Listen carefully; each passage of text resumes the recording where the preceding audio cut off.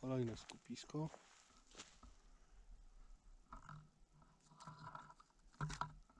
A tu widziałeś co to jest?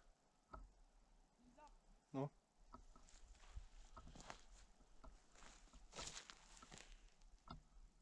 Kolejne. I tu chyba będziemy mieli najładniejszą dzisiaj.